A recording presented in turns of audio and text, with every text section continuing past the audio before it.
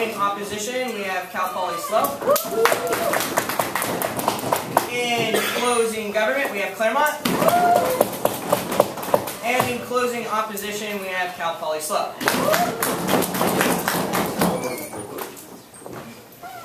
And the motion for the House today is this House believes that policies that may have significant environmental consequences should be subject to a veto by a Supreme Court of scientific experts. I will be your chair. I'm joined by two panelists.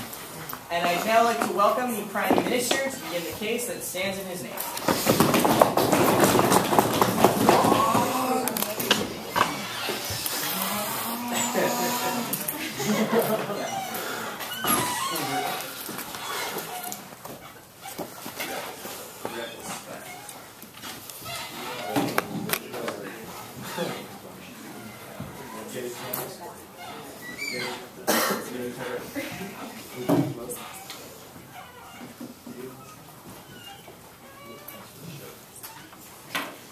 Thank you, Mr. Speaker. I don't think I have to convince anybody in this room that we face a, like a severe and massive crisis. In fact, I think it's the most important crisis of our generation, actually of all time. We've never faced a crisis that has so far threatened the existence of humanity. Like, I do not need to stress, and I don't think I need to convince anybody that it's an issue. Like at a point where the scientific community has concluded that if we don't do something in the very recent future, we are, as a nation, doomed. Our lifestyle is unsustainable, the way that we're going about everything is wrong, and it's just backed by this vicious cycle of having the profit, profit motives and people in government who, one, either don't understand what they're talking about, or two, have a much stronger incentive to perpetuate their place in government, that they don't care about the environment, they don't care about the future, and they'll let the next schmuck in office deal with it, right? That's the problem that exists. And it's not just a problem that happens in the United States, it's not just a problem that happens in like the EU, it happens literally everywhere. There's almost no country in the world that has instituted a policy like this. And so before I get into anything, let me actually talk about what the actual policy is and the semantics of it, right? I think a Supreme Court should be established in each country or each developed country, and I'm going to tell you why it's developed uniquely, right? Like I think there, the the justices are should be presidentially appointed wow, wow, appointed just like they do in the status quo. And it's not just in America, like a lot of other countries do.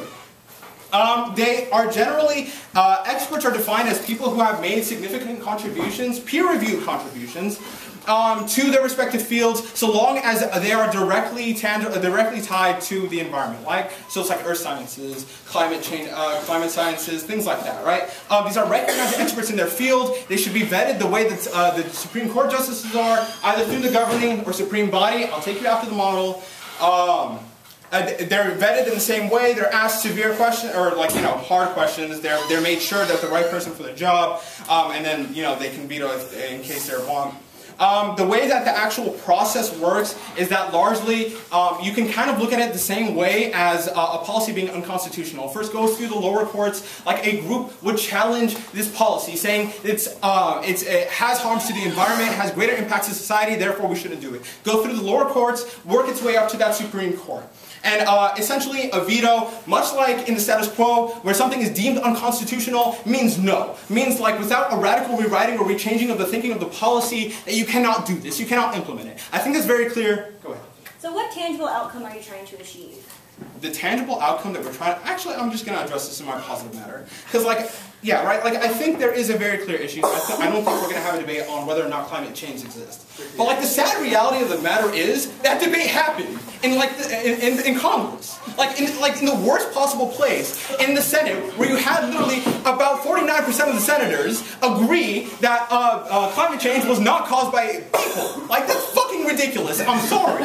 Like if there's something that needs to be done right? I think the way that politics works in the status quo is that there is a heavy disincentive to actually think about those issues. Right? Because the way that it works, if you want to get elected to Congress, if you want to get elected to a legislative body, you essentially go to lobbyists, you get funding, then you get elected, and then you essentially like become part of what's called the Iron Triangle, right? Like you're promised something, what, quid pro quo? I think that's what it is. Oh, Um, so like, you know, like you're gonna do something for me, I'm gonna do something for you. Like Big Coal will back me, will back my um, campaign, make sure that I'm successful under uh, the understanding that once I'm elected to office, I will uh, introduce and back policies that are beneficial to them, that won't stand in their way at the best possible po uh, uh profit motive right? And just, it like only gets worse as time goes on because nobody stops and says, "Hey, we need to think about these issues. These aren't things that we can necessarily sustain." So much so that NASA, like the people, uh, essentially, like the federally uh, created branch that are the experts on this field, are saying, "Stop! You can't do this." And have been con uh, continually, continually ignored, right? Like it's that kind of cycle that essentially repeats itself.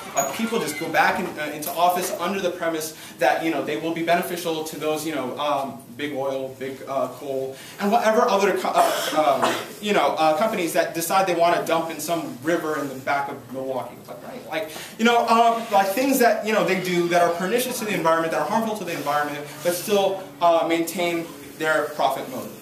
Um, yeah. yeah. So how at all does your plan solve for lobbying? Right. Um, yeah. It doesn't. I think ultimately, okay, hold on. It doesn't in a sense that like you, you don't necessarily have people in Congress that are now being elected that have like very, I guess, cognizant views of the environment. But I think what it also does is checks them.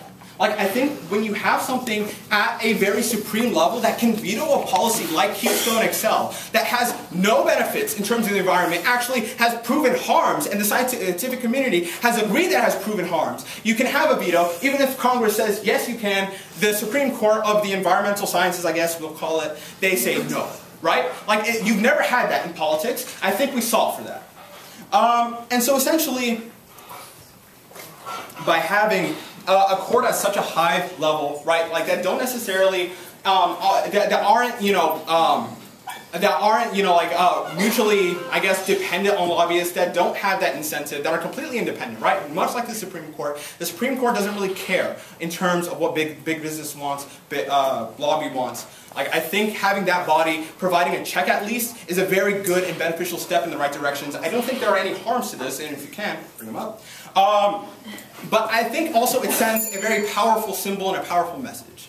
That first and foremost, this will not be tolerated anymore, especially in politics. If you're going to introduce something that is blatantly bad for the environment um, and that benefits you, you're going to get called out for it, right? At the highest level of government. And then two, I think it sends a message that there is no longer a place for this kind of like iron triangle um, uh, paradigm of governments. Like you can't just get elected under the same paradigm. I think that when you have something in government where the government is taking a stance and saying this body has enough power to um, uh, veto something on a very national level, um, you, you essentially send out the message that one, like there is a place for this in politics, that the environment matters, the government cares, and this will not be tolerated anymore. And two, uh, well, I guess four, um, that essentially like uh, we've concluded as a society just by implementing this policy that like this no longer can take place. Right, for those uh, reasons, and the fact that like I don't think there are any harms, and the long-term solvency of like uh, solving uh, the environmental crisis, I think we're very proud to propose this motion. I'd like to thank the member for his speech and now welcome the leader of opposition.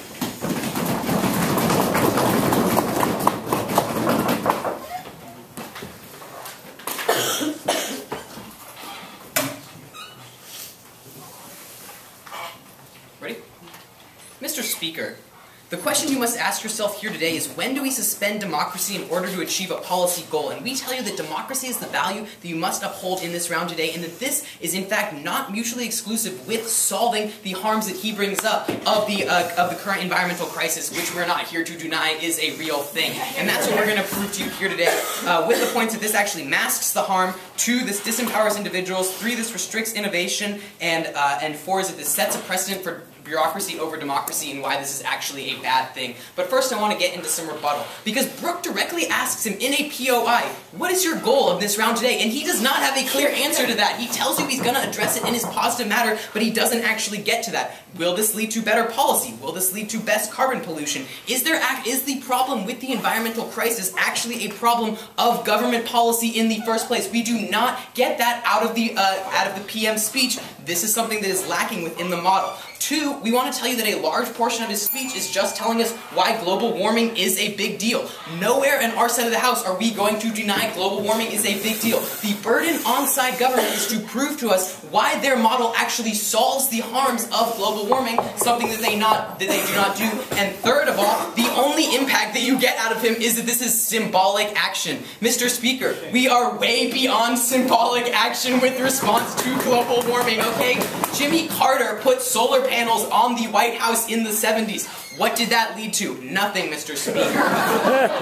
I'm sorry, that's such a gigantic mischaracterization. I told you the example of Keystone XL where it had to go to a presidential veto in order for it to get struck down. Like, these are policies that get enacted every day. So his only example is something that has already been solved by, in his own question, a presidential veto. Okay, moving on. Okay, so here's what our positive matter is here today, okay? What you need to actually solve the environmental uh, harms is citizen buy-in, okay? You need citizen buy-in in order to achieve long-term political change because the real cause of the environmental uh, problem isn't government policy, as they would have you believe, but it's actually corporate behavior, okay? The way that you change corporate behavior in the long run is that you need the individual to feel that they are empowered, that they are important, that they can actually change this. Okay. The problem is that when you have a uh, when you have uh, when uh, when you have just a Supreme Court body change policy as opposed to having the individual care about it, the individual feels that a they don't matter and b the problem has been solved. Okay. What this allows is this allows for corporations to continue practicing the policies that cause the harm to the environment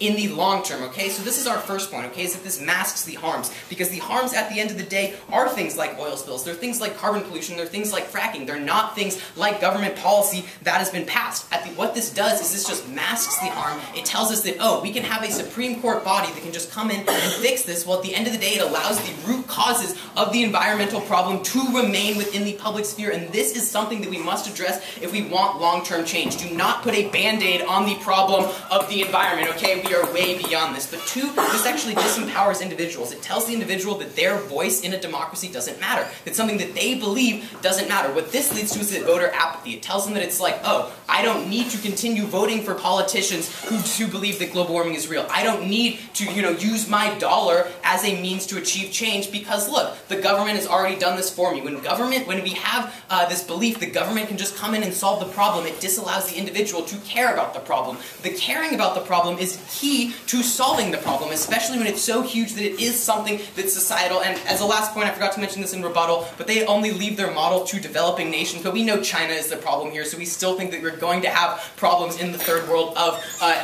environmental harm. So that they give themselves this burden of solving the environmental crisis, but they still allow the main polluters to remain unaffected, they have not met their burden and they simply cannot win the debate. I'll give you another chance. Yeah, the problem is even more rampant in China, where there is Here, no here. incentive to stop doing so.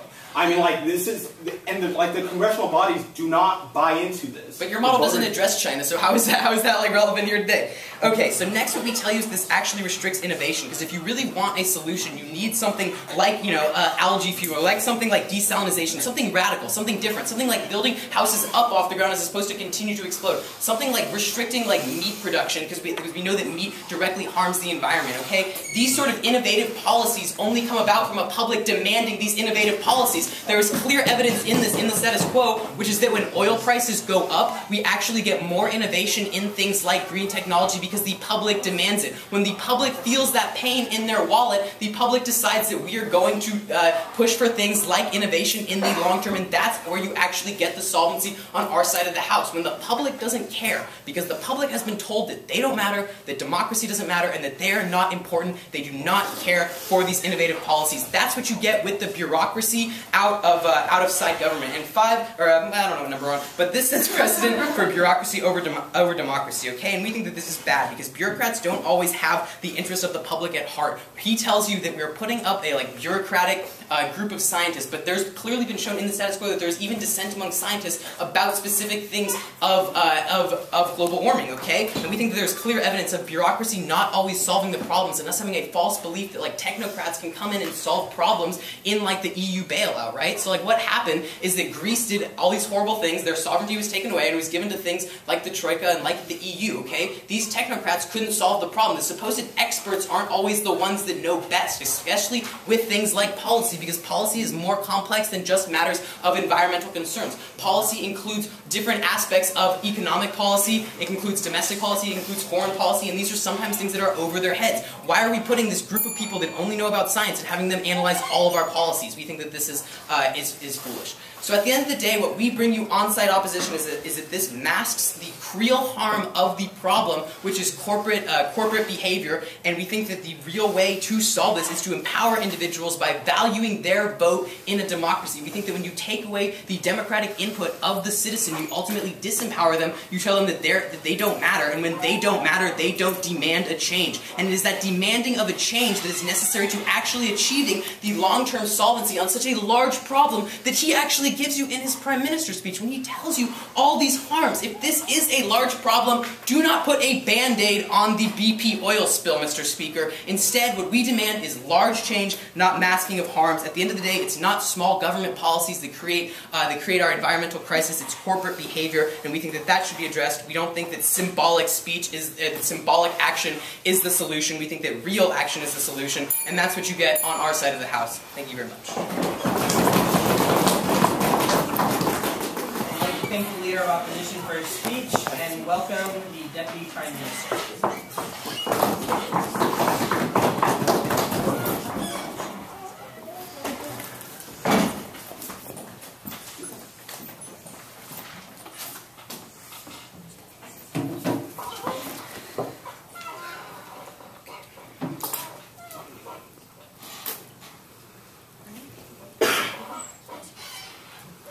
The previous speaker comes up here and he tells you that we have to change people's behavior term to implement effective policy that has to do with global climate change. The issue we see in the status quo is that there's already apathy when it comes to climate change because half the people don't even buy it to begin with. So we think at that point you have to recognize that if you're going to implement changes that benefit the climate, sometimes you have to force those changes. And that's why you have a supreme check on governmental legislation in the first place. That's why you have the Supreme Court exist as an actor that says things like segregation shouldn't exist, that certain things need to be forced behaviors on the public to actually get the types of change that is necessary.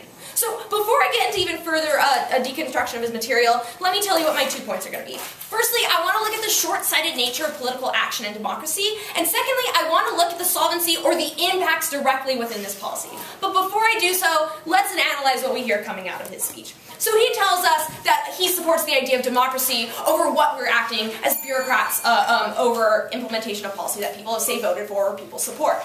The issue we see is if you look to say an established democracy that by like the United States, where the head of like our environmental uh, um, operations is a guy who's a climate change denier who has no background or history in science. We think that's extremely harmful when you have that individual who heads committees, and then on top of that, you have legislation that prioritizes economy over, say, the detriments that are going to affect us now and in the future. Sometimes you do need a body to exist to put a check on that. He says, well, we already saw for it because we have someone like Barack Obama vetoing, vetoing Keystone XL. He's not going to be president for much longer. So if you have someone who's more radical in power in the future, you still need to have experts that exist to protect against this harm. And then he says that climate or that climate change is not consensus among experts. We don't have consensus, so we shouldn't have these people heading it. That's okay. Even if you don't have full consensus on every single policy, that's why we have a Supreme Court. We have multiple ideas when it comes to studied science on climate change actually engaging in the policy that exists, determining whether or not that policy should be implemented or it should be vetoed. We think that's actually a benefit. You do get different ideas of people who have engaged in actual practical research rather than what we have now, simply a career politician doing in the short term what will benefit him to get reelected. which I'll get into more later.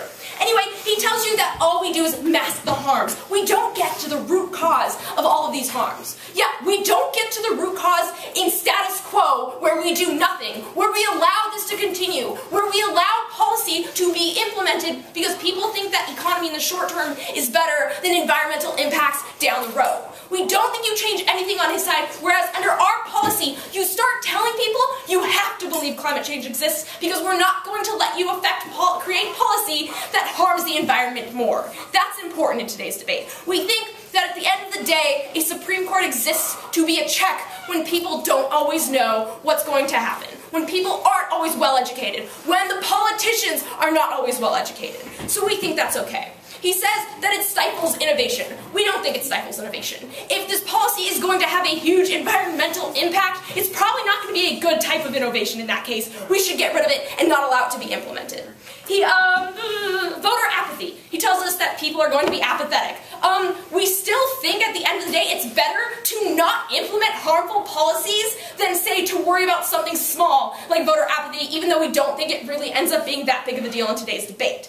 At the end of the day, sometimes you do have to have experts tell people that they may be wrong. We are okay with standing by that. We are okay if democracy becomes harmful to the people in the future to say no. So, um, actually, no, I will take your POI. Yeah, so they try and like paint that in the status quo, Congress is passing all these anti-environmental policies that are that are being accepted by the president. Can they name one policy that has actually been passed that is horrible for the environment that this sort of magical Supreme Court could stop? Well, okay, so at the end of the day, if you go to any local area where they say engage in fracking, fracking, there's oftentimes governmental discussion on whether or not you should allow fracking to take place. We say look at something also like Keystone XL. There are plenty of ideas of where this has come about. We think at the end of the day, if someone finds that fracking in a particular area is going to affect the groundwater that people are drinking, maybe that should be vetoed and people should not be allowed to actually include fracking as something that they do that area. Anyway, short-sighted nature of political action. This is important to recognize when he talks to you about democratic ideology and how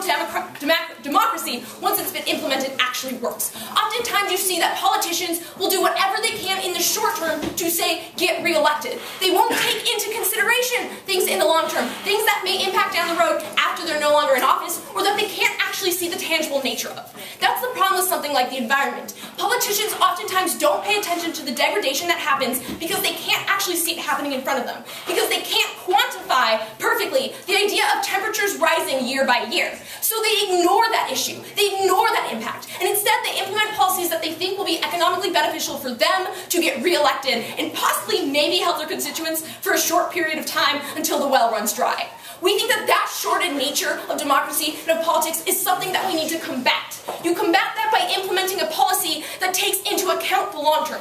Who is the best person able to account for the long term? The individual who is well studied in the issue of climate change, in the issue of environment, the individual who is published and peer reviewed, who recognizes the issues that may come about from a policy that a politician will not pay attention to because all he really cares about at the end of the day is possibly a little bit of help in the short term for an economy and definitely for getting reelected in the future. And we have to recognize you need to check on that. So what does this check do in terms of solvency? We think that you show, if you look to, say, Supreme Court issues in the past where the Supreme Court made a radical decision in, say, the United States, things related to race relations, you eventually do affect people's behavior when a, uh, when a body goes against what maybe the masses don't believe in the first place. So we do think you actually can get behavioral change to what is just what they want at the end of the day, right? So we affect people's behavior, which makes people more likely to buy into the issue of climate change as being in existence. On top of that, we actually can stop policies that can harm people in the long term. If a policy is studied to be harmful to the environment,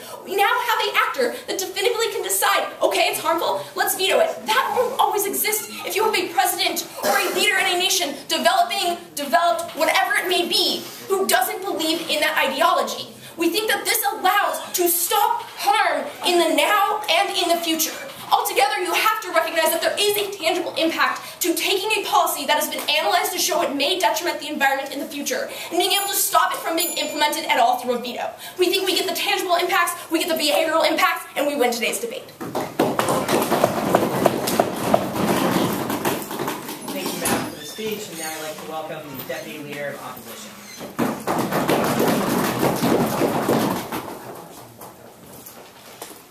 Clearly, the environment is important and the harms that occur to the environment are terrible. However, doing small steps does not create any long-term lasting change. We're in a time of disaster. We need radical change. And all the government side does is mask the clear issue.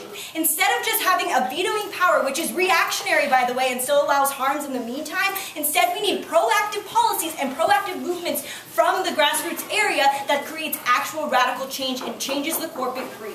And that is my split today, which is radical change. Afterwards, I'll get into some rebuttal and show exactly how they do not do anything to solve their harms. If anything, they might make it worse. So first of all, my split, which is talking about radical change. And it's kind of predicated on the notion of sound science versus the precautionary principle. So in sound science, you just say, hey, look, let's just try everything out, and like if, if everything goes to shit, oh well, we'll figure, we'll put in policies later on to, to uh, combat that. We see this notion that's occurring with uh, like uh, three-parent children, like in Europe, they're saying, hey, this is probably, let's test it out first before we even allow this to happen. The United States, well, I don't know, let's try out different clones. So we see that, especially with uh, environmental policies, we do not have any pro proactive steps that are radical. Instead, the only steps we kind of see are movements towards fracking, which is, hey, bad for the environment, and other movements like corn-based ethanol, which we think is bad additionally.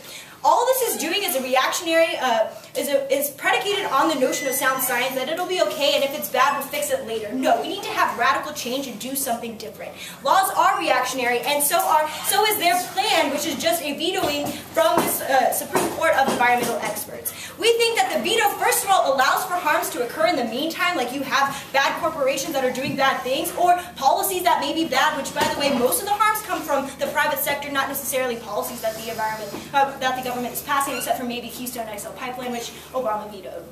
But additionally, people need to demand change and first of all, go vote. That's the democracy we're talking about. We're not talking about the specific politicians that can be, uh, cannot, that won't be reelected if we finally enable and uh, empower the uh, citizens to actually vote for people who want to create radical change for the environment. And they think that this is solved when you somehow have the Supreme Court that's going to do anything. I'm not, I'm not going to get in my split right now.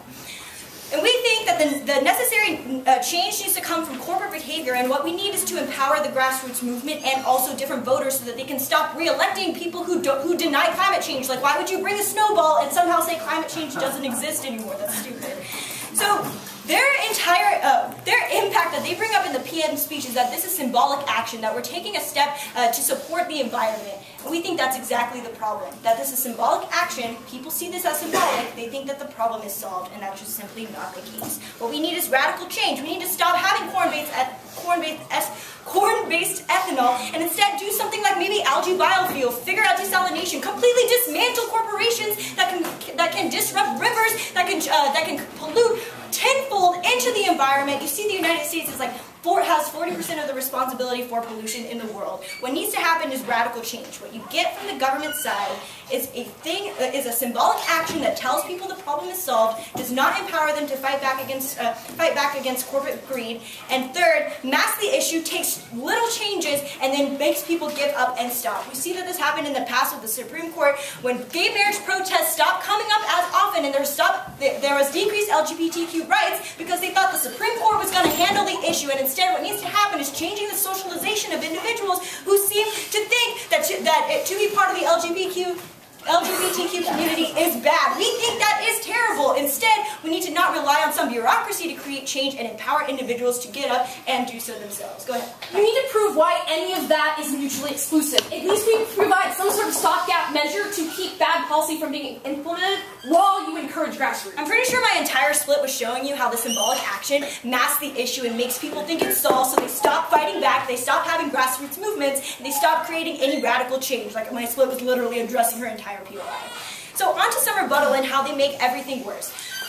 So they completely ignore all of Emilio's analysis of how this is actually corporate, corporate behavior and the individuals need to stop buying from those corporations that are doing bad things to the environment and radically change the system and have proactive laws instead of reactive, uh, reactive measures coming from a Supreme Court, not even the lawmakers, a bureaucracy that, uh, that is not even elected.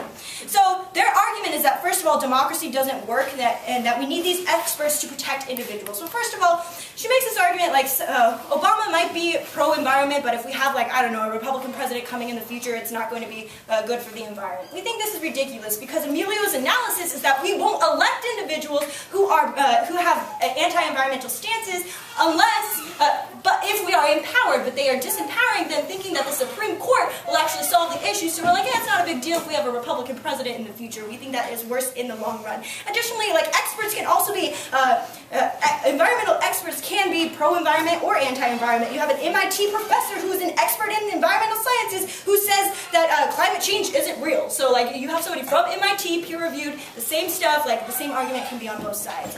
But additionally, but additionally they say the, Supreme, uh, the status quo is doing nothing, and the Supreme Court is a check. And I think my entire split addresses this argument, how the Supreme Court is moving uh, more progressively towards environmental change, but the Supreme Court is going to think is going to make people think that grass, grassroots movements do not need to uh, be as active because we have this bureaucracy that can check back. We don't need to worry as much anymore. Like this is kind of, uh, we think that this is bad in the long run because we think that the issue is solved. It's kind of the false generosity thing that Freire talks about in Pedagogy of the Oppressed. Uh, I'll get you in a little bit.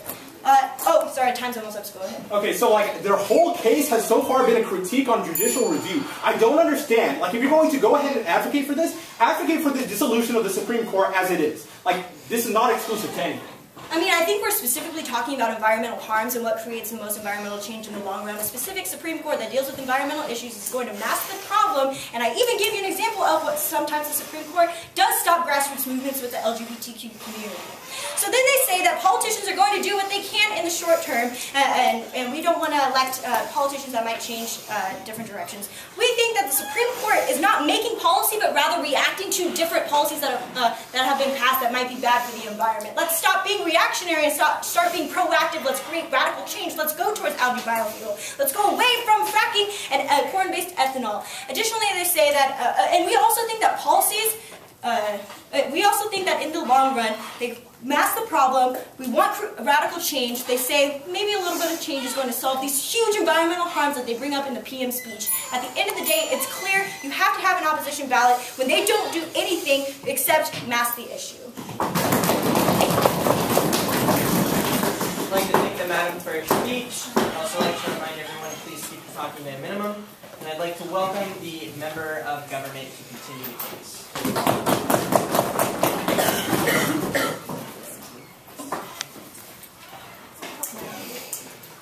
Ladies and gentlemen, Mr. Speaker, you're not going to have scientists come and argue whether environmental change is a real problem or global warming is a problem. Yeah, that's an issue that needs to be discussed. But you're really going to have scientists who, who are going to be experts in, say, the biofuel mechanics of the new fuel plant that your company is trying to set up. And this expert will then be able to tell you what will the implications of such a fuel plant be on the place that it's set up in 10 years, in 5 years. How will the society be, uh, how will the society be affected because there's large water flooding, because the carbon emissions will increase significantly. And when experts like these can come to conclusions, that's when we believe we can get all of the benefits that you're trying to get on your side of the house. First off, before I get into my split about really why why do we need experts, because I don't think it was fleshed out well enough, and the, and the impact of cross, cross national expertise, I'm going to go into some refutation. The big point we get from the previous speakers is idea of proactive policy.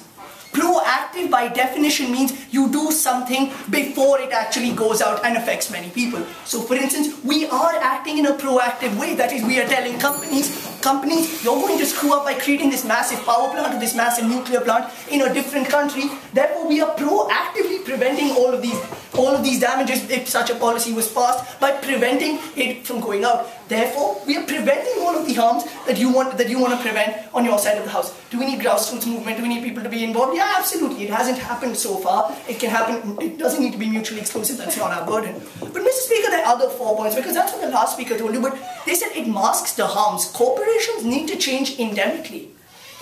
They aren't so far, and that's why we force them to do it. The way such a policy works is when, when corporations and lobbyists and, and, and political entities come up with ideas for such bills, when, when you have a, a, list of scientists who now collectively veto the bill, say, hey, we aren't going to allow it to get passed because it creates so many harms to the environment in multiple ways, therefore you need to rethink the way you think about your policy and your bills. That's when you create endemic change and the way people view their implications on the environment.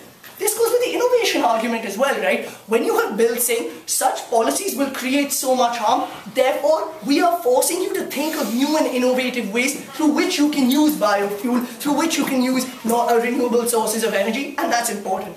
And this entire idea of disempowering individuals and democracy being heard at its root, that's complete rubbish. We aren't changing the way democracy works. You're still going to have politicians who are, who are making these laws. If in the event that they screw up so majorly, you have some sort of review or some sort of veto, we think that's okay. We don't have these scientists making laws at the end of the day, Mr. Speaker. We just have them saving democracy's ass when democracy really messes up, and we think that's okay. Yeah. So I think like the fact is the subjectivity of the environment, because everything from exhaling to like uh, uh, like totally like swapping the environment hurts the environment. The subjectivity specifically on the environment Yeah. can be corrupted by politicians and by lobbyists, specifically on these panels of Supreme Court. So, so, so th- this question of, you know, why won't scientists be affected by such sort of subjectivity? And the reason for that is, especially compared to politicians who can easily be affected, scientists are people who worked in their field for many, many years. I'm assuming this is someone who spent his or her life working on the me- mechanisms of how a dam in Southeast Asia would work and how it would affect fish in that area. He's probably very passionate about what he's doing.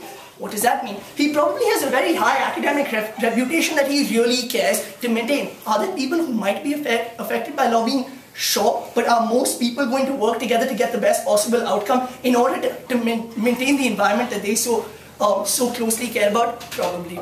Let's get into my, my positive matter. No, no, no.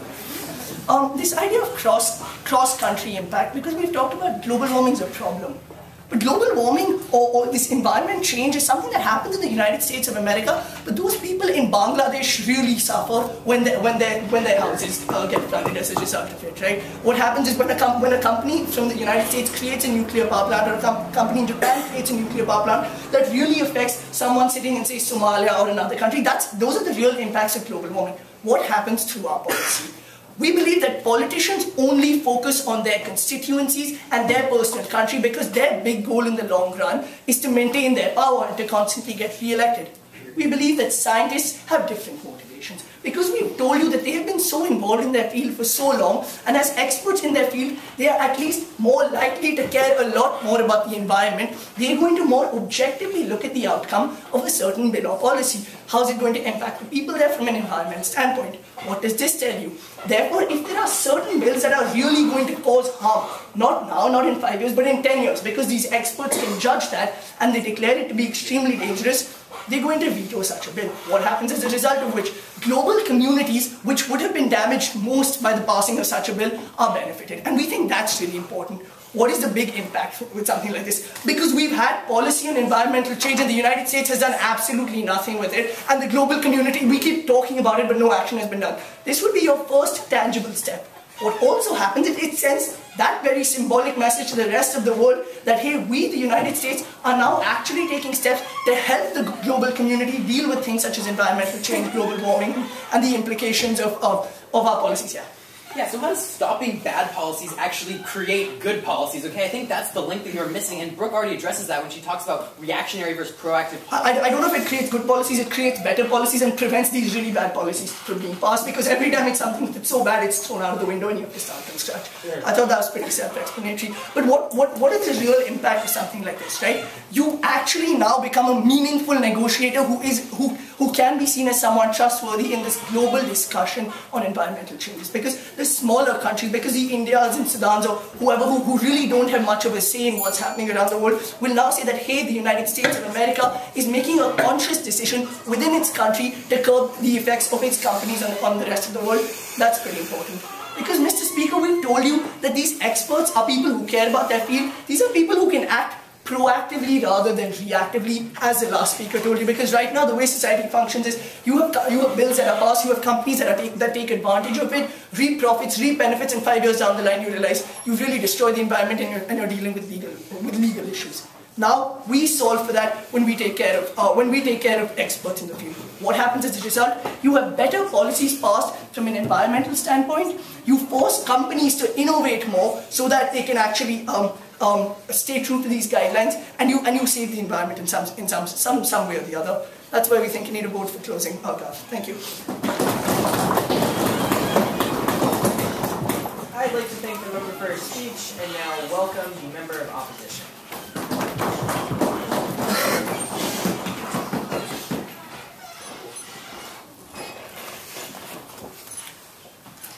So I think what is missing in this today's debate is exactly what like climate change is and how you actually measure it. Now, there's like multiple ways you can say it, and most of what these effects are in like global warming is actually long-term effects. We think that the best people to decide whether or not these long-term effects outweigh the short-term effects are those individuals appointed by the constituents, specifically uh, politicians and, and the such. But we think that the problem is when you have scientists, right? When you have scientists who anything that we do, right? So like this, the second that I'm exhaling produces CO2, which it has an effect on the environment. We think that that is very subjective.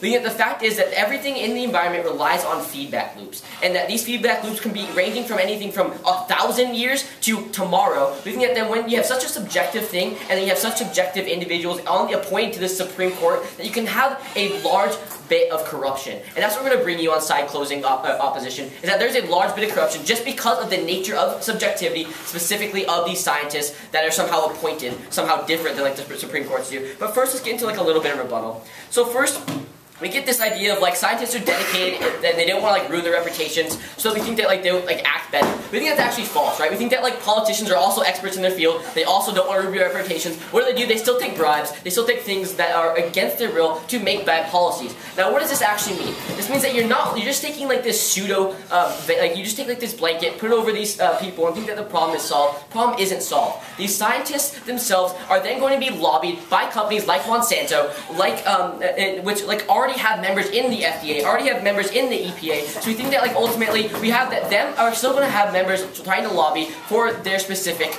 uh, causes. Secondarily, you, you have to look at the fact that the environment is so subjective. We think that when a scientist can say, yeah, that breath that you just took did somehow affect the environment, so therefore we shouldn't pass that policy. I think that when you have you give scientists that much power and the fact that they are lobbied by these companies who want to pass certain things over another, we say that then you construe the facts of what is being passed for this actual harm of the environment and what is actually being passed to save the environment open hands. So the problem is, is the corruption exists in the status quo where a politician is considering the short term and his personal benefits. At least now we have experts who are buried in that field to discuss the issue and determine a veto. So I think that we already have that in the status quo, like the EPA, who actually direct the politicians to make the policies. Yet we think that we don't get any solvency. I think you're like referring back to like opening argument, who said that you just put this like cloud as if you solved it when you don't actually solve that. I think they do a good job rebuttaling that, so I'm not going to go into that. So then we get like the arguments of like because they're academically represented, they don't want to hurt their uh, reputation. We think that ultimately that gives them an incentive to actually hurt their reputation. We think that because they're not in the public's eye, we think that when the public does not get to check them like the politicians do, they have more incentive to take that bribe because of the fact that public are not interested. We think that when public is interested in policies, that the best policies will be made. If we look at like the BP oil spill, we can all agree that the BP oil spill was a disaster. But what people don't know is the fact that because of the people were so outraged, that policy was then enacted by Congress to stop this. We see that there was two new reforms on the uh, the uh, drilling process that actually uh, would better affect the environment later, but people don't talk about that because the only the people who are affected want that change, and you don't get any like fake change unless you affect people. And we think that on side opposition, we show that people are affected and people can advocate best for this and not try to hide the problem opening it. So you'd rather have like major environmental crises happen and to sort like some sort of policy change, and like it's not that it's not that you know subjective. We have metrics.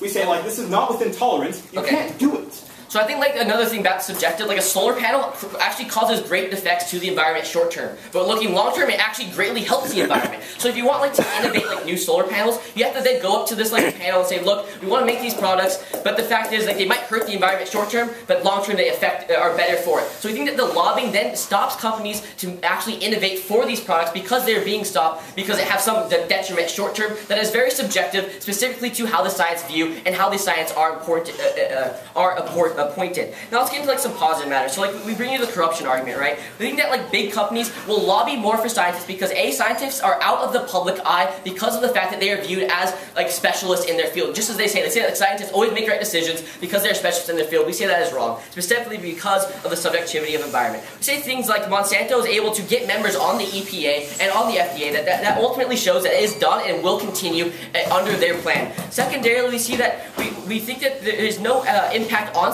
because society is what ultimately enacts change. I said like opening opposition. We think that when you show society that these individuals are somehow solving the problem and that they have the best discretion, you think that you then get more companies trying to vie for that. for that spot on the supreme uh, on that like Supreme Court. Secondarily, we think that there's an inherent problem with the veto itself. We think that the, giving the ability for that one scientist to say no, that, that affects the, the uh, problem short term, so therefore it can't happen. When that other scientist thinks that ultimately that'd be the best thing for the environment long term, we think that because of how subjective it is and how you can have that one veto to completely stop innovation, completely stop the better effects of the environment, we ultimately do not want this plan enacted back half. Thank you. Um, you have politicians who are reporting to their constituents and their goal is to remain in power. Scientists don't have such a goal. Which group do you think is going to be more subject? Okay, so I think the scientists also do have that goal because they have to stay on that court. So we think that like ultimately they want to be making what gets them on that court the longest because that in their mind gives them more effect because like the ultimate goal of science is to be recognized, right? That's why you like try to publish and try to research because you want that like to make something that's innovative, right? So we think that when people are viewed in the public eye and the goal of science is to actually be in this public eye on this Supreme Court, that that is a, is a reason for like this corruption specifically that you get because of the fact that uh, these companies would like vie for this spot of this vetoing power. We also think that finally, that because of this vetoing power, we think that um, ultimately like, you, you don't have to have multiple members on this Supreme Court to be corrupted. We see that one corrupt member on this like Supreme Court is inherently going to disrupt the entire policies. We can see this with like like farming degradation, right? Like even farming is inherently like at some level harmful to the environment. We think that the long-term effects uh, uh, out, outputs are actually uh, better than the inputs. So we think that ultimately, like it's so subjective that you can't have these scientists who are then lobbied to uh, actually make these decisions. So what do we bring you on closing opposition? We think that ultimately, because of the subjectivity and how the, the specific ideas of the environment can be construed, you think that there's ultimately going to be more corruption, more vying by companies like Monsanto to get members on that to veto the process, which ultimately hinders pro ultimate progress and ultimately leads to a world where we think the problem is gone when in actuality the problem is never solved and it leads to a, a worse environment long term. And that's what we give you on side uh, closing opposition. I'd like to thank the member for his speech and welcome the government whip the cases for our government.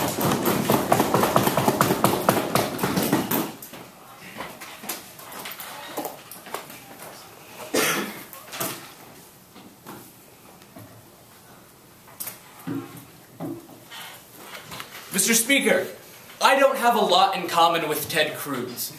I do have in common with him that I am not a scientist. But unlike him, and this is where Ted Cruz and the opposition bench agree, I believe that it's important to consult with scientists when making important decisions that they have particular expertise on. And instead of simply consulting them and throwing their opinion away, like we do in the status quo, we believe it's important to bring those who have technocratic experience to the forefront. Mr. Speaker, we're going to show you, and we're going to show you how we have shown, on government side, that we best solve for policy. Like how we achieve the best policies for the environment, how we don't have any of the harms that we talk about on the government. So firstly, rebuttal. I want to. I just want to briefly talk about one of the like the main argument we hear from opening, just because I think it's hilarious, right? Like the masks action point. If governments start doing things to like stop environmental harms, then people won't do anything, and like environmental harms will continue. Ah, well, then let's just get rid of the EPA, right? Like, why? I, like, they give absolutely no rationale as to why it is that government action makes it so that people won't act. And they talk about like democracy is going to fall apart. Well, no, it's not. We're not a pure democracy anyway. Yada yada yada. Varun already responded to that very sufficiently. I don't feel the need to go into it. So let's go over the main thing that we get from like the bottom half, right? That scientists are going to be incredibly subjective, right? Because you know scientists and your professors, right? They are the most subjective people that you've ever met in your life. Whereas Ted Cruz is a beacon of reason and logic. Like he is never going to be swayed by any interests ever. And like politicians are never ever swayed by corporate money. That's complete rubbish, Mr. Speaker. Let's explain why. Firstly, we would tell you that there's an inherent difference based on the incentive structure that exists for scientists as compared to politicians. They say that like scientists want recognition. We'll concede to some extent that that's true, but we also think there's an inherent difference than a politician who, by the way, also wants recognition a lot. Like look to how they like they structure their committees, and our politicians try and get to advance as like ranking members of committees, and then like make higher election bids. Career politicians. And we think that there's an inherent difference in the incentive structure that exists, but we'd also tell you that scientists have additional education, and the expertise that they bring to the field is completely different. Insofar as they have an inherent burden based on their, uh, their field to, to uphold standards in a way that's different. So then we get this analysis, right, that like, oh, well, they'll become beholden to corporate interests once we create this position. Mr. Speaker, we think that that's fundamentally untrue. They talk about the FDA, but we think that like, insofar as scientists are would be these scientists would be subject to confirmation hearings in the Senate, like all of the money that Monsanto starts to give them, or like that other groups start to give them, would become public knowledge. Like we're not worried about that, and like justices can't accept money like that anyway. That's so that issue is completely solved once the court is created. So I'm going to go over a few key issues. Like what's the role of experts as compared to politicians? What type of and what type of effect do we think this has on policy? I'll actually start with the latter because I think this is crucial. The big critique that we've heard up and down the opposition bench is that we don't have solvency on our side. Like, we're not going to have any changes in policy. We tell you that that's fundamentally untrue based on the nature of this committee and like of this court and how it would be structured. Insofar as scientists would be the ones on it, and they would be the ones who would evaluate like the differences in policy, we think that's fine. Like they say, well, there are differences in scientists. Well, we're okay with the scientists having different opinion, right? Like that's how it works on the Supreme Court too. We think it's okay for scientists to have different opinions and for all of those opinions to come at the same time. That's completely fine. But Mr. Speaker, what we think is really crucial here is that we have two key impacts. Lauren tell, tells you about both. The first is that this prevents bad policies from coming to light. But the second, Mr. Speaker, is insofar as a politician, as, a, as an actor, says, I know that if I pass this policy, and if I can pass this policy because of all the money I have, because of the influence I have, if I am able to do so, but I know that this Supreme Court of Environmental Sciences is going to reject it, then they have a fundamentally different interest in mind, right, Mr. Speaker? What happens is they have to completely change how that policy works, and they have to change how it's written. Because they have to include feasibility now as a new metric. What does that do, Mr. Speaker? It moderates environmental policy. So even if you dis, even if you like buy their argument that like we're not going to stop bad policies, which is like really awkward because frankly on their side they don't stop them at all, and we like if we stop a few, that's a net benefit. But Mr. Speaker, we tell you that we moderate policies in the long run because individual politicians then have to change the way that they structure their policies to not just be beholden to corporate interests or even to their constituents, but to actually make sure that they have positive environmental impacts. Actually, I'll take you. Yeah, yeah. So the passing of Obamacare ended calls for universal health care. Dodd-Frank reform ended calls for banking reform. Hell, the New Deal ended like the socialist left in the United States. When you pass small reform, it masks deep-seated issues. And when your opening team has already told you that it's a deep issue, this is not something that we can do to solve environmental reform. Don't create good policies. Okay, so we think that the fundamental difference, right, is based on the status quo. Look to the amount of action that the United States government is conducting in the status quo. If there was a movement in the United States that we would like suddenly be throwing out as a result of this, we might even agree with you. But Mr. Speaker, insofar as the movement in politi- in like political circles is about evenly split, we tell you that you achieve much broader impacts on our side when you have governmental policy trying to make the difference. So, Mr. Speaker, why do we believe experts are inherently better? And this is some of the analysis that Lauren gives you, right? Lauren tells you that experts, insofar as they have particular backgrounds and education and expertise in their field, are better qualified to make these decisions than politicians. Like, they're not beholden to the same level of, su- of, of, subjectivity, and they're not beholden to the consistent type of repeat review that's needed for a politician. Like, insofar as a House of Representatives member consistently has to generate money for their reelection, insofar as they consistently have to look to public approval, we tell you that these positions are better because they're not subject to those same constraints. Mr. Speaker, maybe some of the politicians in the status quo who exist uh, who are against climate change reform don't actually feel that way. Like it's actually, we think it's totally possible. But we think that a lot of their constituents certainly do. And we think that they have to, they, that they certainly need to change their stance to some extent to be able to continue to govern. We tell you that insofar as justices don't have the same burdens because they don't have to keep getting reelected, that that's sufficient. That's what causes the change in environmental policy. Because not only their expertise, but the fact that they're not consistently elected, we think uh, results in substantial difference. So, Mr. Speaker, what have we told you? We told you that this masks action argument is absurd because otherwise it would apply to like all environmental policy. We told you that the harms that we hear about on the opposition, on like bottom opposition, don't make any sense because what we actually do is we uh, we would vet these judges through a, through a strict process. We tell you that the role of experts is particularly different insofar as they have different qualifications, but they're not beholden to the same interests. And we tell you that this results in a moderation of environmental policy, which is why closing government has won the debate. that speech, I'd now like to welcome the opposition whip to conclude the debate.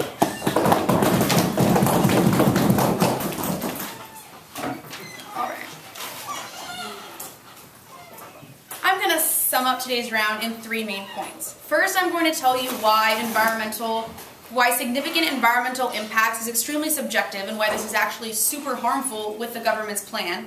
Secondly, I'm going to tell you why more uh, symbolic message is not going to be as effective as more practical means, which we get in the status quo and which we can increase in the status quo. And thirdly, I'm going to tell you why this actually leads to more corruption, um, with more corruption within, under their plan to get more corruption, basically. Okay, so firstly, environmental, envir- significant environmental impact that is subjective, right? Like, how are we going to define significant? How are we going to define the impact, right? It's basically a group of scientists who are going to decide whether or not this is worth it. We think that there are going to be many different opinions within this group of people, and that all it takes is one person to decide that it's not going to be worth it, right? And this is exactly what Brad tells you because he says, um, because he says that this is too much power for like one individual, right? It takes one scientist to literally curb like hour, years of work and like drawing up plans of like a company, right? It takes one person to say like, hmm, maybe it's not worth it. And we think that in like that just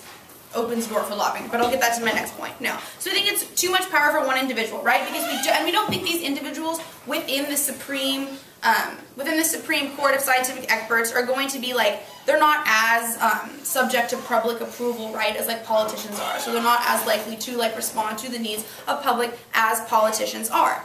Brad gives you the example of solar panels, and he says that how, although this has they make to build solar panels has a lot of short-term environmental impacts. The long-term environmental impacts are actually better or could be argued to be better, right? We think that disagreements like this are going to happen within this body and again, it only takes one person to veto this to throw out the entire plans that actually could lead to a lot of long-term environmental benefits, right? It takes one person. Yeah, I'll take your point actually before I go on. Okay, so I, I think largely the analysis that my partner brought as to the importance of judicial review, especially in a topic that one has failed to be represented in government, is largely missed. Could you please respond as to why you're opposed to a body uh, checking those types of regulations? Yeah, no, I'll definitely get that into my third point about the corruption, right? So secondly, we don't think that a symbolic message is like the answer to this, right? We think that more practical things. Because we think that after a company has spent time and money and resources developing plans and then and only then can they take this to a body to like ask for approval? We think that's just completely ridiculous right? We think that having guidelines in place before doing all this before doing all the planning by having like fines or further regulations the more practical things which is what brad tells you is actually solves we think that this is much more like beneficial and like more efficient than kind of being like well we'll see maybe after when you're done if we maybe think that this is significant or not, right? We just think that's like completely like illogical. We're not, I'm very confused like why you think that, that would work. We think that there needs to be like better clarification on the model and like why this isn't going to happen and why companies aren't going to like waste like millions of dollars in resources and then just like get vetoed, right? And so we think that again, like guidelines that happen before the planning, regulations, fines, things that we do within the status quo that we can increase within the status quo ultimately are a much better solution to the problem than just like having this veto, right? Because we don't think um, that this like symbol, symbolic thing that they bring to you has like worked in the past, right? We don't think it has, and we think that more practical, more tangible things like guidelines are going to be more effective. Bottom half. Uh, can you talk about the cross cross national benefits that we talked about? This is the first time you're, you're making policy that actually affects and helps other countries. I'm not, I don't understand your POI. Okay, third, corruption. I'll let, give you another chance to clarify in a little bit. Okay, third, corruption. We think that lobbying and um, we think that they don't solve for lobbying with this plan. We actually think what they do is they increase lobbying because now all you need is one person with one veto to stop policy, right? And we think that things like fines, we think that things like guidelines that are like blanket policies that go over all companies are much less subject to corruption, right? We think that when you have things like it's not it's wrong for this company to go ahead with this plan, but but like this company is not also subject to those same guidelines because they haven't been brought between this body that this opens the door for more corruption because we think things like big oil companies we think things like refineries have like a lot of money, right? They have like a lot of lobbying powder power. And we think that it's like like as I know that they say like, oh, these people that care about the environment, but like yeah, like my partner said, right? Like we think that like there are people with jobs all the time that actually care about what they're doing, but they're still subject to lobbying. They're still subject um, to corruption because we don't just think that like everybody always within all these companies and within the um, Supreme Court of Scientific Experts are not going to be subject to like influence from companies that have a lot of money, right? And my brought you Monsanto, who like literally they have like people within the EPA and the FDA that are like working for them. Like that's crazy. If they can infiltrate that, we think that is going to be pretty easy for huge oil companies to be able to gain some like stronghold, some foothold within. Um, within like the Supreme Court of Scientific Efforts, right? So we think that again, this veto is actually what gives way to much more corruption than blanket fines, blanket regulations, because those are imposed on all companies and they're more practical because they are imposed um, like before the plans have been done, right? And we think that um, when certain companies like have the power to like literally lobby like to to like get a scientific effort to like veto like a competitor's plan that we think that this is like extremely harmful. And we don't think that you get this in the status quo right? We literally think that this opens the door hugely for much more corruption. And when you get this corruption when you get certain bigger companies getting more stronghold and getting more um, like doors open and more ability to do things than other companies we don't think that this actually solves for like the environment, right? We don't think that this is going to somehow that this is going to lead to like less environmental, um, less environmental impacts because you're still going to have people getting away with it. You're still going to have people getting. You're still going to have companies getting away with it. You're still going to have get, have companies abusing it, and we think this is extremely harmful. We think that practical, more blanket fines um, and regulations ultimately are going to be what reduces the amount of like significant environmental impacts, right? We don't just think that this like veto is good. So what did he bring you? Brad literally told you it's too subjective to be left into the hands of one person. Practicality is gonna work much better than symbolically, and blanket fines, blanket um, regulations are going to be much more effective than like the corruption that the doors opened with through veto. Proud to vote. Thank you. I'd like to invite the to uh, across the house and one final round for our finalists.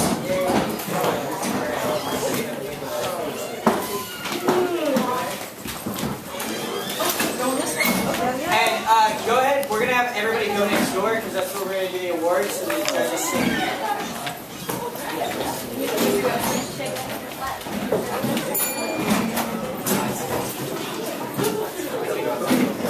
That's perfect. 맛있어.